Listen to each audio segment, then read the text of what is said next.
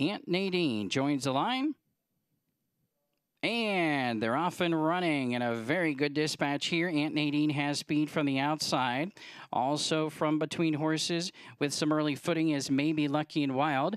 And then from between horses, Hanita's Empire gets away in the third position. Toward the inside, Foxy Lady is fourth. Then we have Dignified, followed by She's a Happy Girl and Sade Purse as they make their way down the back stretch and get set to bend onto the far turn.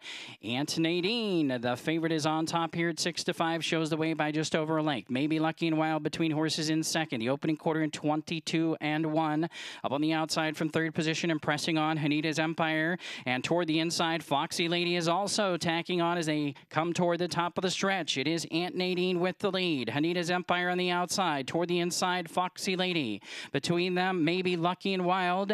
As they turn for home, they're followed by She's a Happy Girl and Sade Purse and Dignify. They straighten away for home. Aunt Nadine has the lead, but on the Foxy Lady comes on. Aunt Nadine and Foxy Lady. And Foxy Lady gets a nose on top and starts to edge away late. Foxy Lady and Miguel Vasquez to win it. Aunt Nadine second. Anita's Empire was home third, followed in by She's a Happy Girl and Dignified. The time was 110 and 3.